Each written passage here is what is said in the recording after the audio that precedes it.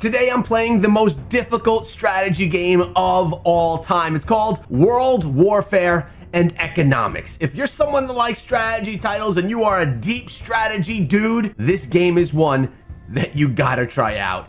It is not easy, it is a challenge, and I wanna thank World Warfare and Economics for sponsoring today's video. If at any point in time you feel intrigued or desire to play this title, my link is in the description of the video. It supports my channel let's get into the video. So you may be wondering, what is this game? Well, it's a geopolitical simulator that lets you shape the fate of nations. Do you know what that means? It means you could literally cause chaos around the world inside of the game, of course, but you can make wars happen or you can make peace happen. It really is up to you as the leader. You're going to be able to engage in realistic strategies across economy, politics, military, and you could lead your nation to complete and utter global dominance and see how things turn out. So let's see what we can do. So upon loading up the game, you have an option of doing the real simulation. You can do the Israel-Iran conflict. You could play as US, Israel, or Iran, or you can dive into the China-USA conflict where you could play as China or the USA. I think what we're gonna do right here is do some real simulation. And as you can see, you have a lot of countries to choose from. You could literally be anyone. So who am I gonna be? Well, I'm gonna be the United States of America, of course, that's where we are. You could also change the year of what's going on based on history, what year do you want to dive back into? Well, we're going to start with 2020 right here. So when you start up the game, you have a bunch of options to choose from. Like, do you want pandemics to be on or to be off? We'll leave them on. Iron mode, political simulation, we'll keep that on. Fog of war, unlimited resources. I feel like if you put on unlimited resources, you're kind of cheating. So we'll keep that off. Peace conferences, peace mode, enable a tutorial. Nah, we don't need it. Let's dive into the game now. As you can see, the game is available right now in the Steam store. The best way to get it is by using my link in the description because it supports my channel, and I appreciate you guys for that. And as you can see, it's an early access game, but it is quite built out already.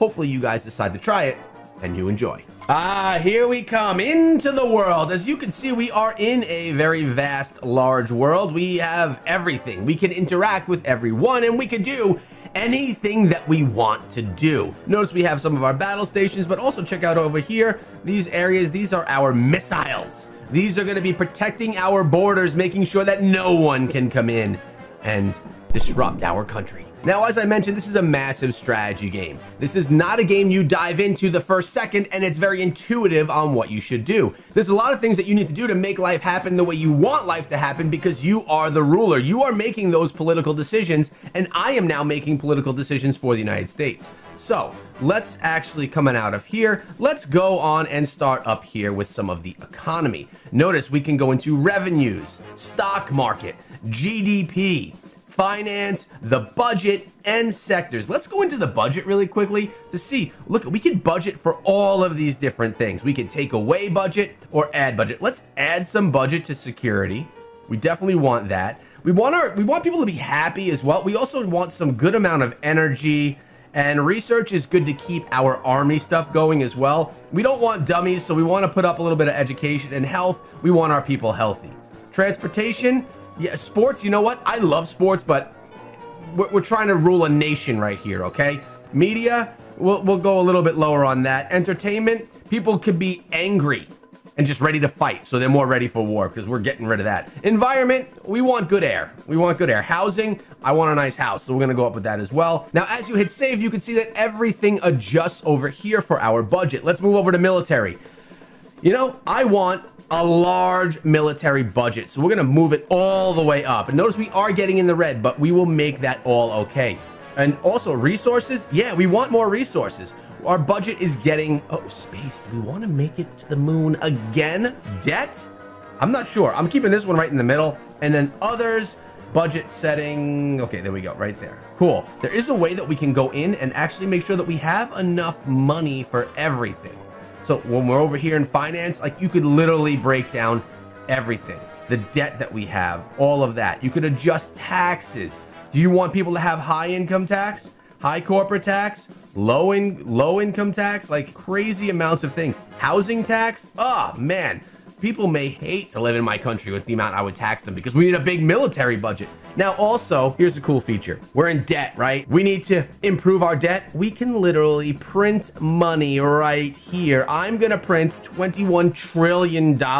We gotta do it while no one's looking so that everyone doesn't understand. We don't want them to know about inflation going on right here. We don't want other countries to know we're printing money. We don't want them to know we're devaluing the dollar. So, boop, we are secretly printing the money.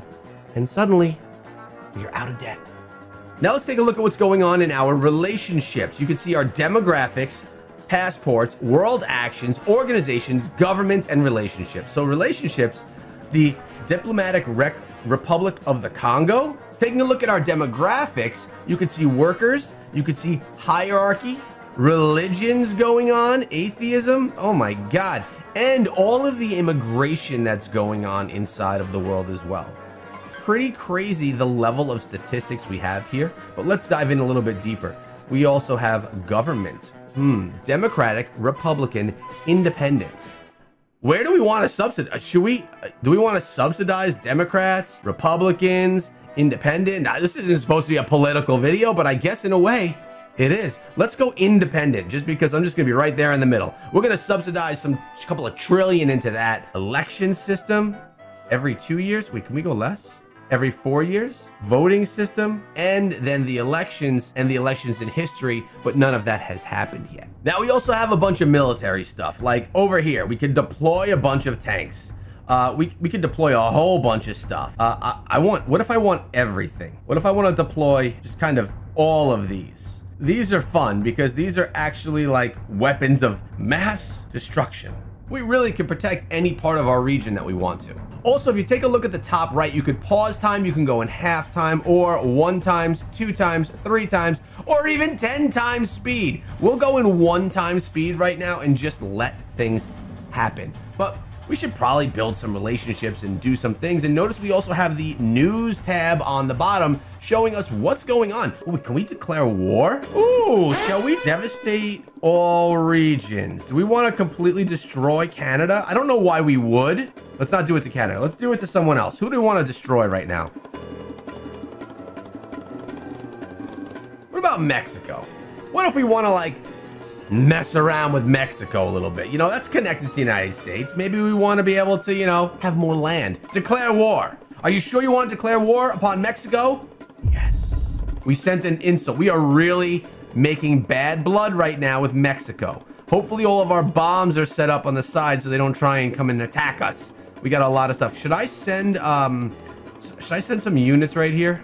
Let's get out of this. I may want to send some military stuff and let's send them to, where's Texas? Let's send them to Texas. Now, as I mentioned, our debt could be in an issue right now. So let's look at our finance. Uh, let's just, uh, let's just, you know, no one's going to know.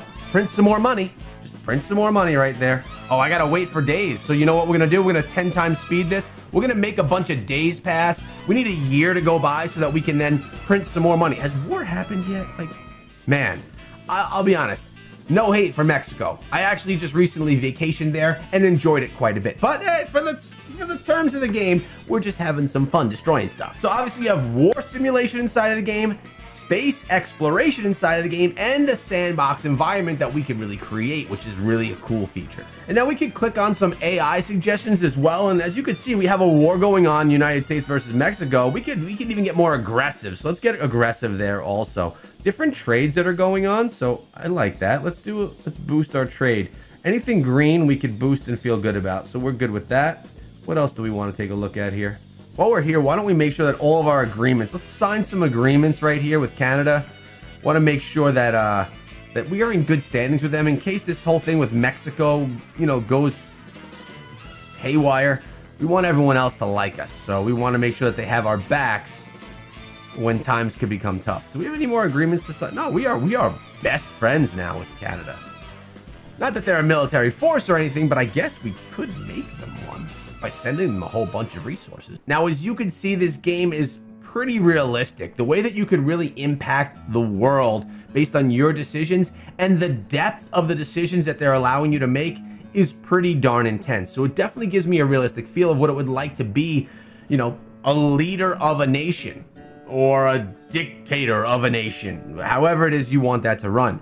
So that is where the fun is inside of this one. With that being said, it's a very complex title. I know that I mentioned this earlier inside of the video, but this is something that you are going to have to take the time to invest your time into, and this is really deep strategy. I think a lot of you are into the really deep strategy, which is why I wanted to share this one with you. As time passes, it looks like the United States and Mexico actually became friends, and the war never happened. A peace treaty was declared. See, I'm not a dictator after all. I'm a pretty nice guy that wants world peace. It takes care of Windows, Macs, even Linux, and the game is also always getting more updates. As we know, it's still in development, although it's still a very well put together game at this point. I love that the community is able to put in their information and put in their details and put in their wants and needs for the game so development can further improve in the way of the player and what they're looking for. And World Warfare and Economics is not just a game, it's an entire community that I know is very welcoming of new people that are looking to play. So again, if you want to play this title, use my link in the description. And again, I want to thank World Warfare and Economics for sponsoring today's video.